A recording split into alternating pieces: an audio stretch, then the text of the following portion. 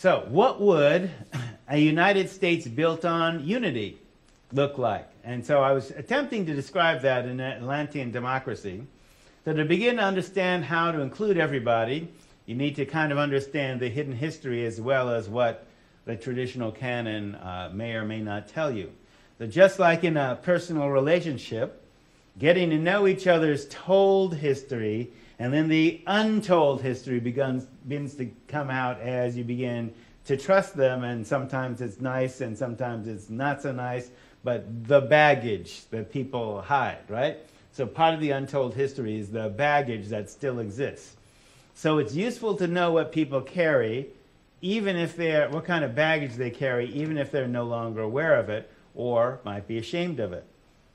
So our neighbor to the south, so to speak, Mexico, once ended 10 miles south of Ashland and included all the states which have Spanish names Nevada, Colorado, New Mexico, Arizona, Tejas, etc.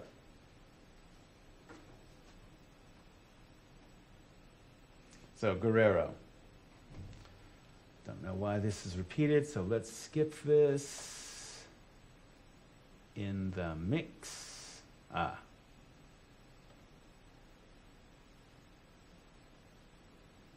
All right. So, in attempting to create an African style culture where human diversity is utilized rather than suppressed within the context of whatever society you're in is difficult. But concerns about social justice remain the norm. Guerrero attempted to create a cross cultural model in Mexico, blending native African and European culture for his particular society, and he was assassinated.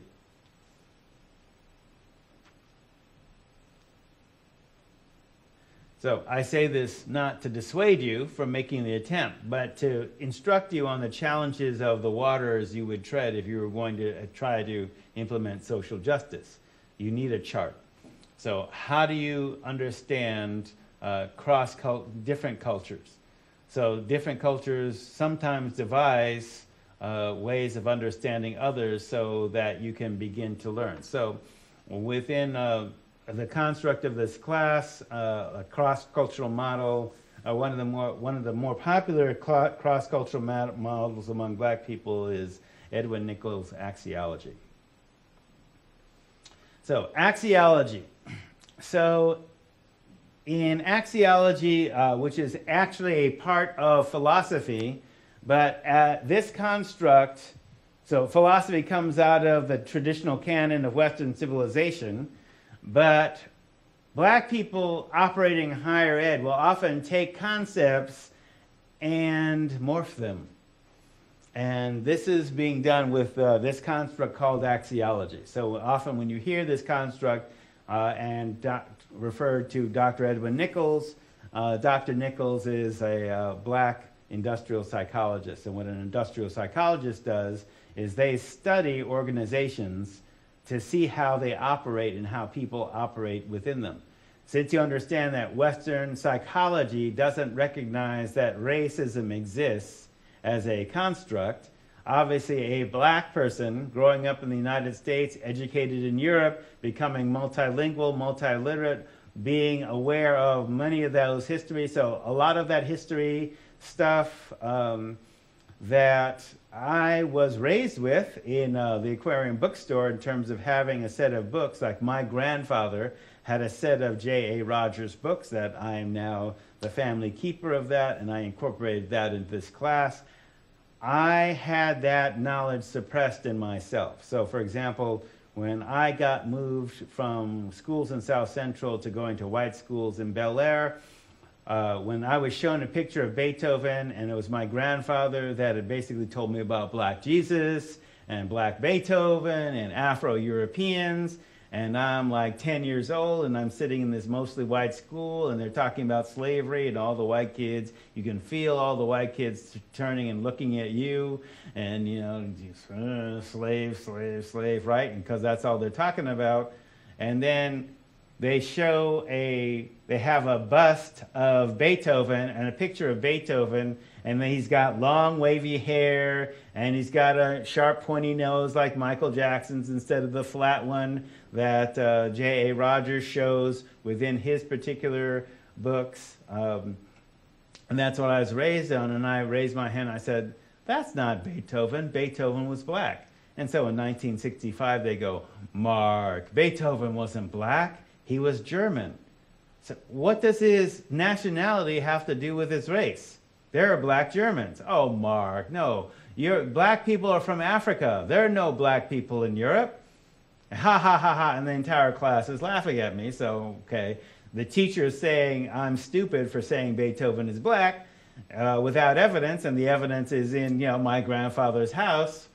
So I hadn't gotten the books because grandma, you know, grandpa had been dead by that point, so or was going to be dead. Let's see, 65. He was going to be dead in three years, so the books were in his house. So I had no proof, right? So I just had to take, you know, people ridiculing me. Oh, Afro-Europeans? No, you're just slaves. The best you can be is an American, you know, because we civilized you. I mean, that was the message. Now, that was not the message I got at home, but all this to say right? That Nichols, the, the next time that I saw a picture of Black Beethoven and Charlotte and Pushkin was when Edwin Nichols came to School District 4J in the 80s talking about axiology. And part of his uh, then, this was before computers were sophisticated, so he was doing uh, transparencies on an overhead. And so he had pictures of um, first in the Anselm Furstenberg Breitling von Meldig picture, you know, so the, the black guy on the top of the uh, shield. He had pictures of Schwarzkopf's family crest and Schwarzenegger's family crest. And I came up to him and said, Wow, where did you get this? He said, It's in Rogers. I said, Wait, J.A. Rogers? He said, Yes. Sex and Race? Yes. Wow, gee. And then he mentioned offhand, uh, I said, I, my grandfather had those books, and uh, my dad has some of those things. He said, Who's your father? Hiawatha Harris. Oh, I know your father. Okay, right. Black shrinks know each other. So, let's go to slide. The philosophical values. So, with grateful thanks to African American industrial psychologist Dr. Edwin Nichols, who developed these philosophical constructs. So, in philosophy, as a discipline within the traditional canon, axiology studies the, is the philosophical study of values. So what Nichols did with this is he basically said, okay, where do these values around race come from? Because if racism uh, that we're operating on is only 600, six or 700 years old, then people had a way of working with each other before this particular form of racism was developed. Because this form of racism did not exist among the Greeks and the Romans. Because they had black people, they were multiracial societies. The Romans had black generals. The Greeks, you know, were studying in black universities. So they had positive ideas about black people in the ancient world. So what happened to form these negative uh, values? Well, Dr. Nichols, clinical industrial psychologist working in organized develop, organizational development and is the director of Nichols and Associates Incorporated. It's an applied behavioral science firm affecting technolo- technology transfer to organizations based on principles of philosophy and basic behavioral sciences. Technology transfer that he's talking about refers to a construct he developed which allows people to utilize perceivable differences. He's committed to helping organiz- organizations achieve systemic congruence through cultural competence, thus assuring a competitive edge. So, one of the things that he's saying is if you're going to be competitive in the future, because he's writing this basically in the mid 80s, where they are predicting a demographic shift uh, to be occurring around year 2000 and then beyond where basically we are shifting from a majority white society to a majority minority society, and how do you basically begin, uh, begin to eliminate some of the systemic barriers uh, to excellence? And so, one of the things that he's saying the technology transfer is you need a model to be able to understand where the other cult- uh, culture is coming from that requires that you know some of their history, some of their hidden belief systems, and the origins of all those things. And axiology is an attempt to do that. So he was educated at Assumption College, Windsor, Canada. So he's not even educated in America, even though there is a cultural context. They can assume that there is some similarity because they're speaking English. He was also uh, educated at Eberhard Karls Universität in Tübingen, Germany uh, Leopold Franzen Universität, Innsbruck, Austria, where he received his Doctor of Philosophy in Psychology and Psychiatry, cum laude. So, as evident in his presentations, uh, Ed speaks multiple languages. Notice this pattern. okay, so black Americans going abroad, doing excellent because they might not get the same treatment in American institutions. And they come back speaking multiple languages, which is part of that particular genome. So he developed this construct to help people from different cultural backgrounds work together. So any kind of strategic planning naturally involves conflict, potentially in who is considered a leader, what kinds of power do those leaders wield, what kind of power do they have, what kind of power can they delegate to others, and how is power lost and gained. So these are all concepts within leadership that are culturally bound. So, what is the culture of those who are in power, and the, what is the culture of those who are powerless within that culture? If power isn't distributed equally, how is it concentrated, and who decides who's a leader and who will be listened to and who isn't? So, there's a hidden dimension to culture that defines those and other questions. So, the question is not simply who decides which cultures are in operation, it is detecting which cultures are in operation for yourself and making the appropriate adjustments for your own actions. And sometimes these cultures operating are invisible, yet they are detectable. You can feel them. It's kind of like it's an atmosphere of power. And so when there's a power vacuum, then if you're going to operate in a power vacuum for the type of power that you're used to dealing with, you need some kind of protection so that you keep your power together while you're operating in a power vacuum so that you can begin to fill it with the things that you need to be powerful. Or you need to protect yourself so that you can remain power in a designed system or atmosphere where you're supposed to be powerless, but you have the tools to be successful even in a power vacuum. So all I'm saying is the basic construct is this.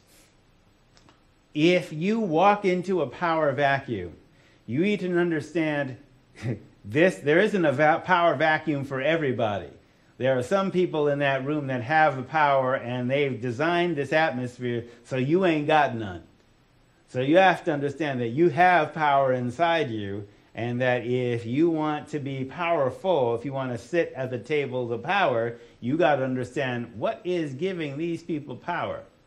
Is it the structural hierarchy? Is it, is it specific knowledge? Is it a way of talking? What is that culture of power?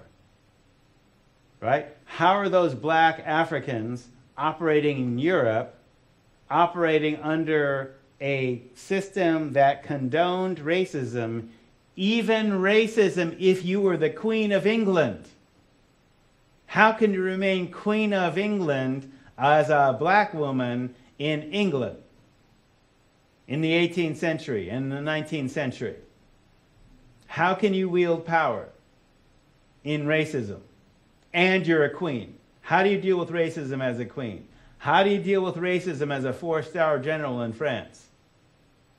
And how does your kid, Dumas, wield power in France? Well, he's literate and he travels and he writes great stuff.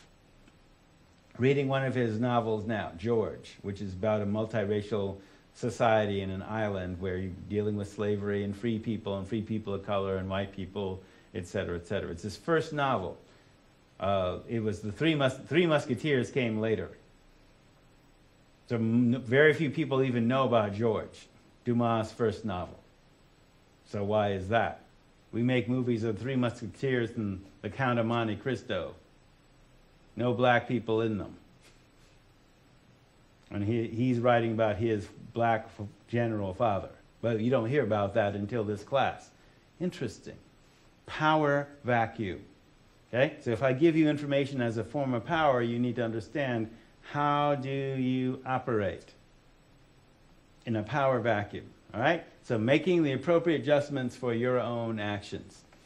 So axiology is an attempt to teach people to do that in a two-day workshop. Now, when Ed was out on the circuit basically presenting this, I mean, he's elderly now, he's in his 80s, because if he's one of my dad's contemporaries, he's definitely in his 80s. So uh, axiology is an attempt to teach people to do that in a two-day workshop. Now, he would often say, you know, if you're really going to do this right, you take a month. But most corporations ain't going to pay for their employees to become cross-culturally adept. They're only willing to do window dressing, which is a two-day workshop.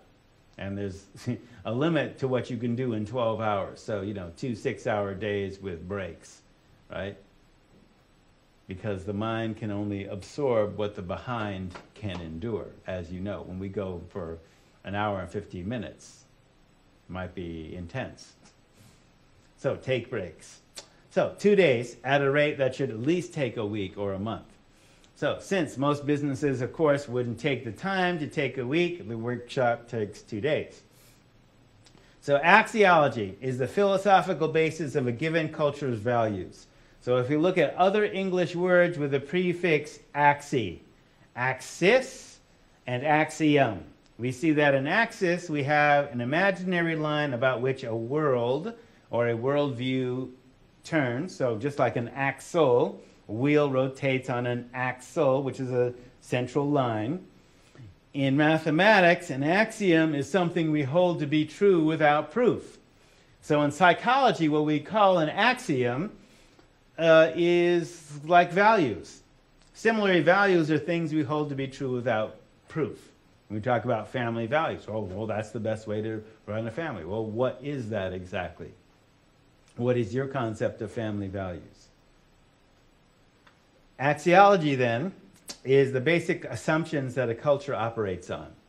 So, if axiology is the basic assumptions that a culture operates on, then often those assumptions operate on an unconscious level. Because they are unconscious, they often move people without their conscious awareness, sort of a cultural automatic pilot or default setting. Now, if we were to import this, because remember, remember ethnic studies is, by, is uh, multidisciplinary. So in biology, this is called epigenetics.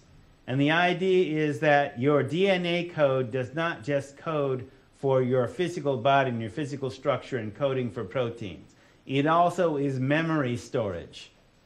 So it's system memory storage for every organism in your genetic line back to the first bacteria. So just like we know that you can pass on drug tolerance, particularly alcohol, through your genetic line. So when you use the drug alcohol, it's not just your tolerance, it's everybody's tolerance in the genetic line before you. And if you're using your gene, your very genes, your eggs and your sperm are also being programmed with your drug and alcohol experiences as well to pass on to the next generation, if any. So one of the things that, even though Nichols didn't really talk about epigenetics as that is system memory from the ancestors, what he's saying is that an axiology is pa- pass- passed on unconsciously. Now, the mechanism is yet to be discovered, like what kind of memories are stored in the DNA code. But clearly, we can see that if a spider never meets its parents, yet knows how to make a web, we call that instinct. So how what does the DNA code just make spiders able to be able to spin webs or is some kind of system memory being transferred? Well, with the word instinct, some kind of system memory is being transferred. How to make webs. So if culture is the collection of everything that is necessary for survival, then that's going to be passed on too. And that's, the, that's basically the assumption with axiology. Okay? Because these things are passed on unconsciously, one of the things, and let's say that culture is that which is necessary for survival. It's the collection of all the things you need to do to survive. So Nichols' basic thesis is your axiology started 10,000 years ago, at least, with the survival conditions necessary for you to survive. And within, and that's passed on unconsciously. Now, in order to basically take and boil down all the world's cultural complexities into four basic axiologies is going to be kind of reductionist, and he admits that. So, you can see axiology in operation in every artifact a culture produces.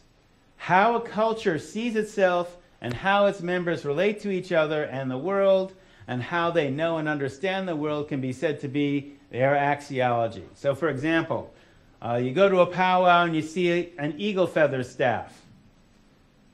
That's an axiology of natives. Tenochtitlan, the ancient city where Walmart built, the ancient pyramid city. Uh, the ancient pyramid city that's built on an artificial island on an artificial lake. So people made a lake, they made an island in the middle of the lake, and they built a pyramid city on that island with canals and different streets so people could go to the giant market. And that's what Cortez saw. Tenochtitlan, which is near outside of Mexico City, where Walmart bribed the government to build a Walmart. anyway, an eagle feather staff and Tenochtitlan are basically Native American axiology. A djembe, the African drum, is Afro Hispanic axiology. Timbuktu, both the city and the university in Timbuktu represent the values of their culture. A sitar, the Indian instrument, that is Daat Indian in the Hindu Indians in India. Acupuncture needle, Bombay, Beijing. An acupuncture needle and acupuncture. So Asian axiology, sitar, Asian axiology. The cities Mumbai, Bombay, Mumbai, or Beijing, which we used to call Peking in China. Those represent Asian axiology. So television monitor, portable computer, Euro-American axiology, Los Angeles, which used to be Afro-Hispanic axiology and got shifted over to Euro American axiology. So, what I'm saying is axiologies can shift and change over time depending on demographic. I'm from the city of Los Angeles, which was founded by 44 founding fathers, only two of which were white. The whites were not dominant. It was mixed race, African, Native American, and European. The founding fathers of the city of Los Angeles. So, the city of the angels right? So shifting axiology. New York City, which is also New Amsterdam, shifting axiologies within Euro-American axiology, and Silicon Valley. Okay, all these represent certain axiologies in uh, operation. So the idea then, so you can also say that corporations themselves are a form of technology. Nichols is an organizational industrial psychologist. So, corporations are a form of technology. The corporation Mondragon, which is a cooperative corporation, is different than 3M or IBM, even though they're often engaged in the same business manufacturing, distribution, finance, etc. Educational systems and pedagogy are a form of technology. LCC is different than Timbuktu in Africa, or Sankore in Africa, or Luxor in uh, Kemet or Africa. So all of these ref systems reflect certain cultural values that are discoverable. They have their own uh, means of utilizing and distributing power. Okay? So, when Nichols talks about axiology, an axiology encompasses not only the highest value, because that's principally what it means. So, the highest value, and you can do a value statement for each axiology, is not only the highest value, but it also incorporates a view of time and how time, that view of time affects behavior. An epistemology, that is, how you know the world and how you know what is true, the means by which you do that. A logic system, so logic is a way of reasoning to an answer. Okay? So there's lots of different forms of logic, and Nichols basically points this out within the axiology construct. Each of the four axiologies has a different epistemology, a different view of time, a different logic system, and a different process. So a process is how you act in the world as a result of your axiology.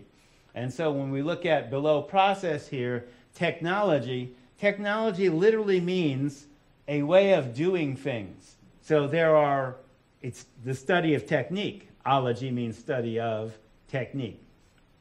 So there are hard technologies and soft technologies. So this presentation is being brought to you by video cameras, which are running through uh, a mixing board that is based on a CPU chip, a computer chip, using computer technologies. That's the hard technology, right? The soft technology is how it's being delivered to you. That is the stuff in terms of how you're thinking, how you feel about it, and what you do with the information. So there's hard technology and soft technology. Okay? So hard technology is the actual hardware. Soft technology, like software, but it could be, all right, how do you fix eggs? Well, what kind of eggs? How do you make an omelet without breaking eggs? Well, you can't in your mind. What, how do you make an omelet? Do you want it fluffy? Do you want your, scrab, your, your eggs scrambled over easy? I mean, they ask you that in restaurant. That's the soft technology. How do you do that? How do you flip an egg in a pan? How do you separate the whites? And so use the whites to fluff up the omelet and fold in the yolk later so that you make a fluffy omelet. How do you do that? How do you fry an egg? How do you flip an egg? Etc. Soft technologies, the how to. All right? So technology is also a study of technique the techniques may not be physically discernible. Okay? It's how to. All right, and that all is encompassed in, within the concept of axiology. So, in a culture's axiology, all these things interact and they may change too. So, as an example, uh, across the top, Euro American axiology the highest value is the object. Afro, so reading down the left column. African, Latino, Moor Arab, South American axiology. The highest value is in relationships. Asian Pacific Islander axiology, the highest value is group cohesion. And Native American axiology, the highest value is uh, the, the relationship between uh, a person, the visible world, the invisible world. So it's not just group cohesion, it's its own thing, which he'll, he'll describe as a quadra-unital uh, logic. The view of time. With Euro Americans, time is uh, money, time is linear. It moves in a unidirectional uh, motion from past in a line to the present to the future. In fact, the, the time, the concept that we use about timelines and parallel universes and all that stuff come from that particular view of time, that time moves in a line. And time is an object, because time is money. You get paid an hourly wage, which means you are selling your life to an employer an hour at a time. So time is an object, because time is money in the Afro African Latino or African Hispanic, as he talked about it, but he, as Nichols talked about it, but it also includes uh, Moors, Arabs, South Americans, because uh, as I may have stated uh, the other day, there are 130 million black people in what we call Latin America. So there's more black people in Latin America than there are in America. And they've had an influence. So that's part of the axiology as well. When the Moors conquered Spain, and basically, you see how culture gets translated. So algebra, al means the, this gets translated into Spanish as El. Al and El both mean the. So in Los Angeles area, where you have cities named Alhambra,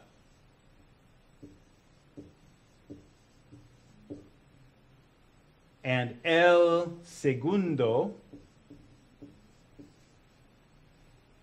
Okay, that's the Moorish influence on the language of Spanish. Algebra, Alhambra, El Segundo, El Paso. Might as well, El means the, El Paso. Down in the West Texas town of El Paso. All right, back to slide. Thank you. So time moves in a spiral in this axiology. In a spiral. What goes around comes around. Asian Pacific Islander axiology. All eternity in a single moment. Uh, karma, the wall. So time moves in a circular motion. Uh, so the difference between a spiral and a circle is a circle is all encompassing and there's a cyclical nature in a spiral, it includes that there is moving in a there is motion in circular circular motion, but it's moving. The circle itself is moving, so you capture that in the spiral. In Native American, time moves also in a circle, uh, the sacred hoop. The epistemology within Euro-Americans is uh, how you know the world is through counting and measuring. Often, how this is reinforced is back, in, for example, in the toys of children. So counting and measuring. So children get blocks. And what are on the blocks? Numbers and letters, right? So numbers so you know how to spell and call your name your objects. Numbers so you can count your objects. You know, what do you say as a basic value of science? It ain't real if it can't be measured. Well, how do you measure love? On a scale of 1 to 10? Uh, no, there's some things that can't be measured in numbers. As Einstein once said, not everything that, ca that counts can be counted, and not everything that can be counted counts. Oh, Albert. The way that we've been talking about with uh, Afro Latino or Afro Hispanic uh, axiology, symbolic imagery and rhythm. So we've been looking at visual grammar and talking about that, what things symbolize and how much meaning you can pack into pictures.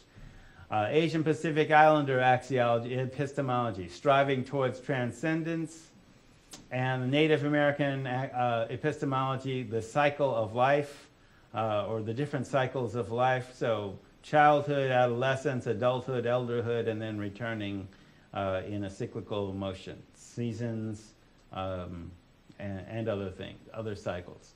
The logic and process, dichotomous logic, uh, so dichotomous means two, the logic of polar opposites and opposing.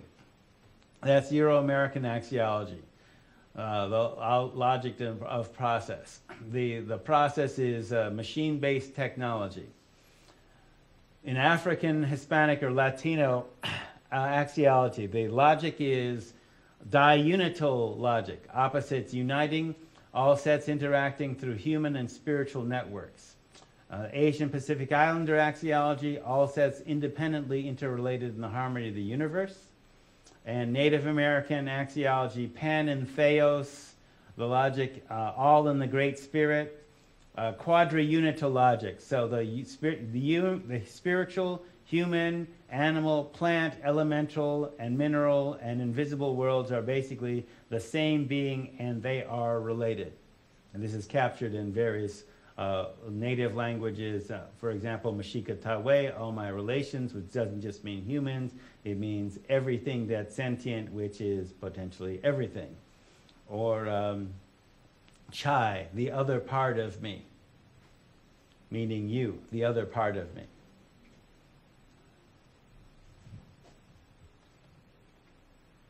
So, according to Dr. Nichols, a culture's axiology is generated in part by the climactic and survival conditions present at its genesis.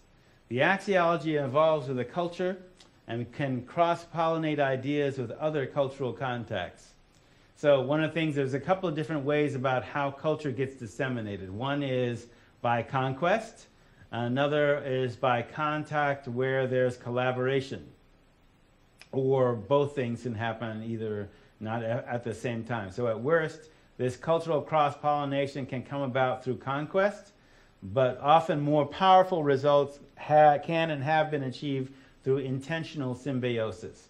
So, for example, when I say I define myself as an African American, and that means African Americans have been here for 2,500 years, uh, 2,500 years ago, we didn't come here as conquerors, we came here as explorers and traders. Uh, natives had gold, we had gold. Uh, natives built pyramids, we built pyramids.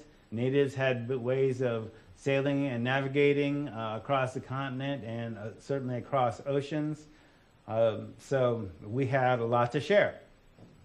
And it wasn't, a, a, you know, there's no point in us trying to come from Africa to try and conquer Turtle Island because we had Africa and Africa's bigger than North America. So we didn't have come here for the land, we had Africa.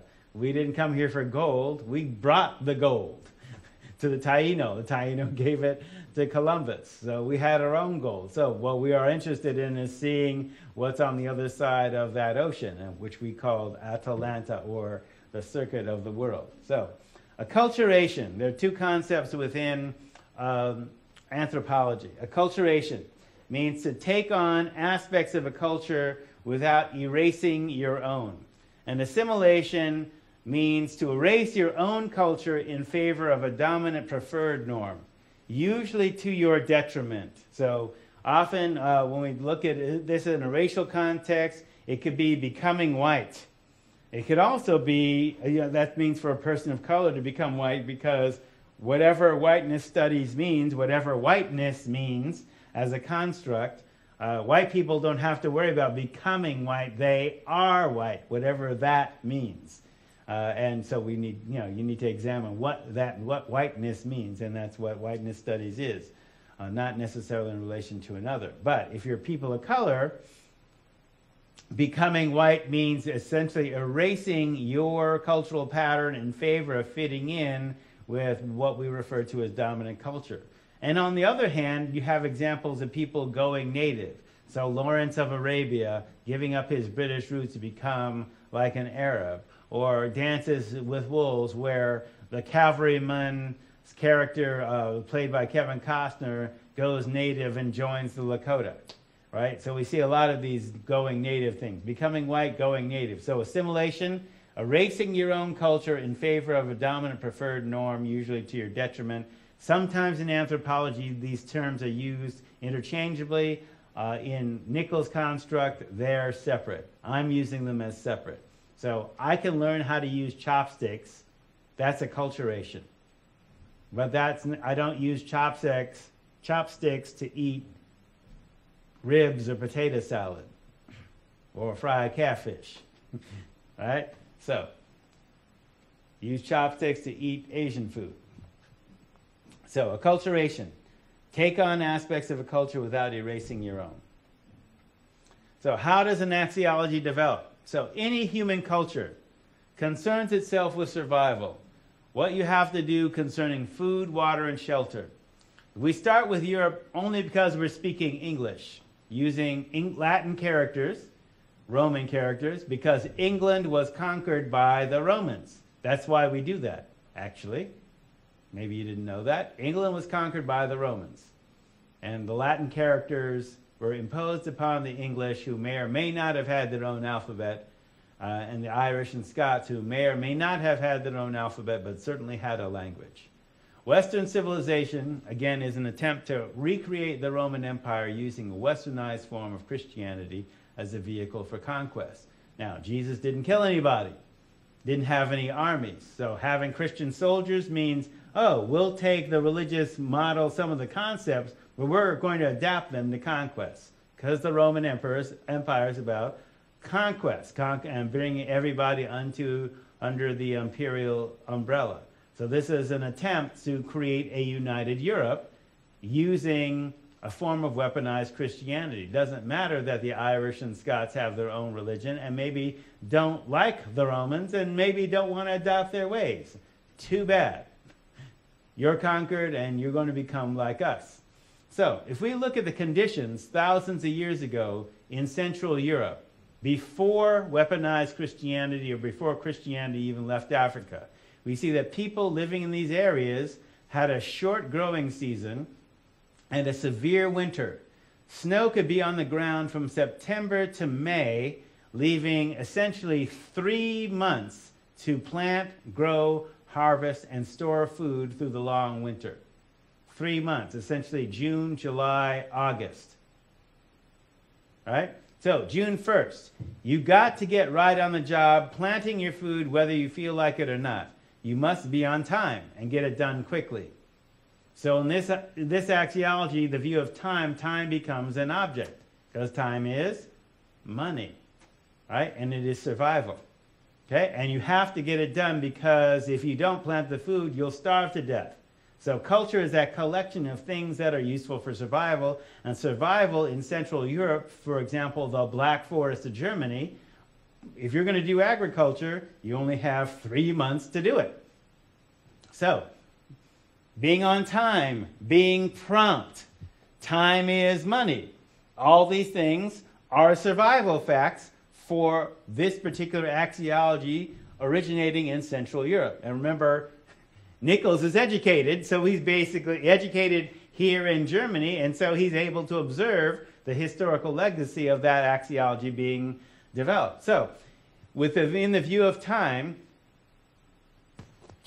excuse me, if you don't seize the moment now, it will pass, never to return, because that's the view of time. Time moves in a, in a line from the past to the future, and it doesn't come back. So one becomes very task and time oriented. You learn to suppress emotions that obstruct the task getting done, because to deal with emotions takes too much time, and you might hesitate and starve because you only have three months. So it don't matter whether you're sick as a dog, get it done now, right? Ernie the Cable Guy, get her done. Right? Saying this, see how the axiology is reinforced. An important technology then becomes the preservation of food to store away. Right? So you get cheese. So you get wine. So you get drying fruit and drying food and jerky, etc., etc. So one also tends to value stocks of food and hoarded possessions, so much so that you will defend them to the death because it means your death if you run out of food or other scarce resources. So you are not going to give up your food either without a fight or with something of equal value, and then you devise systems of, of an economy. So, one possible response to scarce resources in a hostile environment. Now, what I'm saying, one response. So there's native axiologies which evolve like in cold and in the snow with no growing season, and they don't develop this axiology. They don't. So, one possible response to scarce resources in a hostile environment is the European axiology. The highest value is the object or acquisition of the object or control of the object. And in this axiology, not only time is an object, the land is an object, Women can be objects. Children can be objects or property. Land, animals, all these kind of things. So basically, the value is he who dies with the most toys wins, and I ain't sharing my toys with you. So who, he who has the most toys or the most property is rich, and the poor are people who have less property and money. See how this works? That's an economy. So to see how this works in an industrial, con- industrial construct, a tale of four workers. We have Hans, Euro-American axiology, Javier, uh, Afro-Hispanic axiology, Hideo, Asian axiology, and Herman, Native American axiology. Hans, Javier, Hideo, and Herman work for the same multinational corporation, which makes timekeeping devices and was originally Swiss in origin. Each of them is having the same bad day.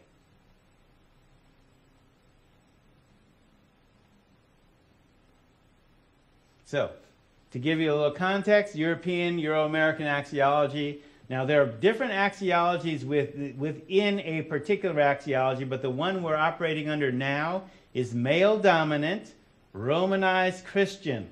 So, there are other axiologies within the European axiology that could be egalitarian and pagan. But we don't know about those because the male dominant Romanized Christian folks erased all that stuff. Right? So on the, on the axiology that's being observed now, a person has a relationship to the object that is, if you notice object in all caps, the highest value lies in the object or the acquisition of the object. He who die, he who dies with the most toys wins. Right? In this axiology, objects can have a higher importance than life itself. All right, you ain't a man without a possessions or a job or a family or a wife. So, no possessions, no job, no worth. So, for example, the farm suicide stat. So, in this time, especially when we have um, unemployment, so one of the things that Nichols observed, and this is when the unemployment rate was again, because he cited this, the unemployment rate was at the time 7.1%. And he basically said, okay, if you see a rise of a tenth of a percentage point, like to 7.2, okay, a tenth of a percentage point rise in the unemployment rate equals 700 suicides of white men.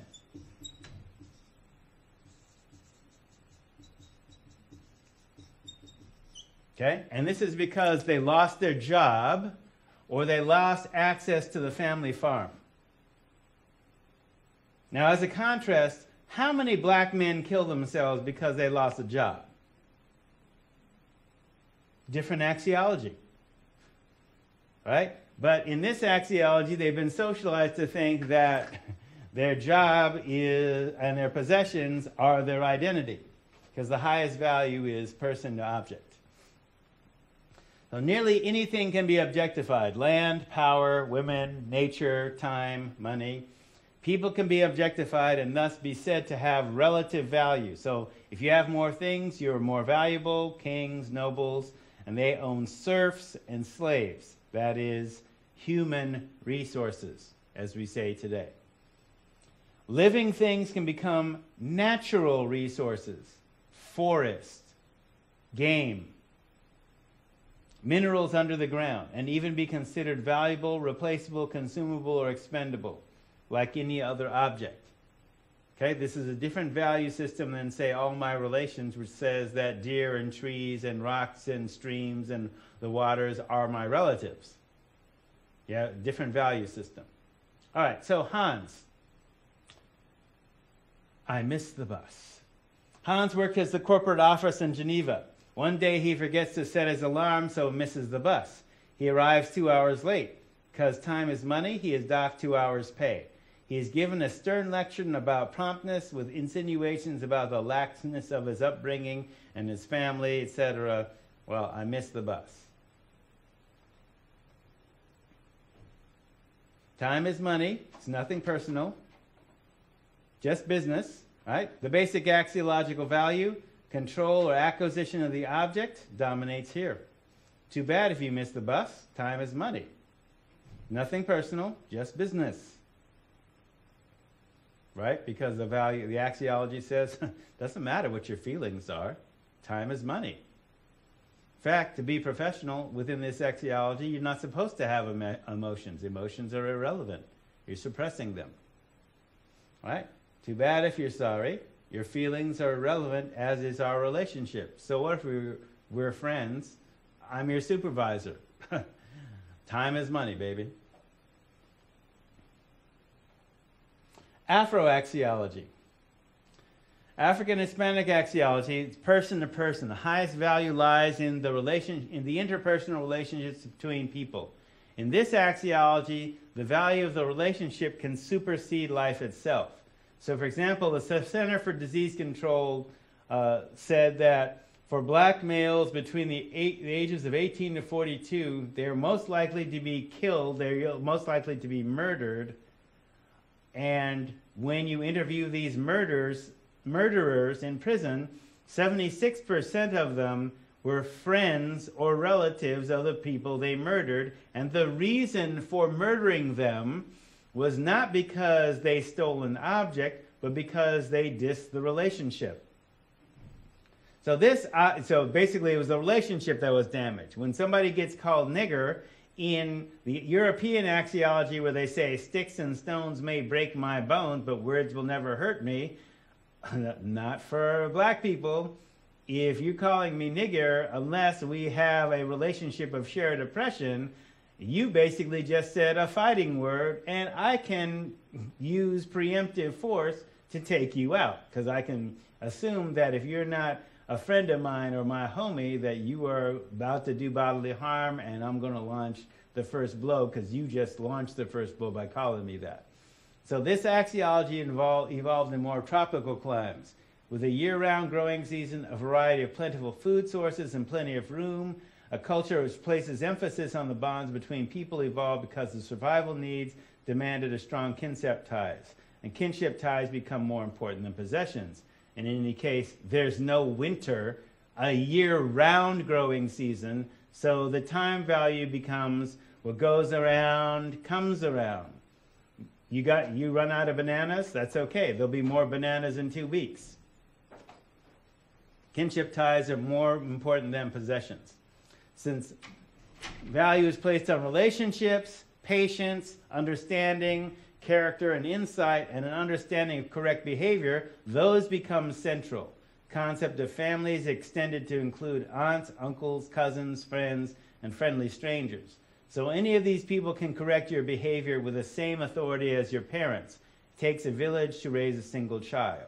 So the Moors, Africans, occupied Spain for up to 700 years heavily influencing all aspects of Spanish culture, including language until the Spanish Inquisition. So hence, that's why Nichols calls it the Afro-Hispanic um, axiology. So with Javier, and uh, I'll leave this up because we got less than two minutes. Javier missed the bus, but in Spanish, when he says he missed the bus, essentially the translation is the bus left me. He missed the bus because time is money. He's been docked two hours pay, but it's his friend. So he says, you can't dock my pay. The bus left me. The alarm clock forgot to set itself. And he breaks a cup and he says, oh, silly cup, the cup broke itself. So what is being preserved here is the relationship, not the emphasis on physical objects. So um, be able to leave this up and uh, we'll continue on next time. See you in week three. And we'll continue our discussion with axiology later. Peace out.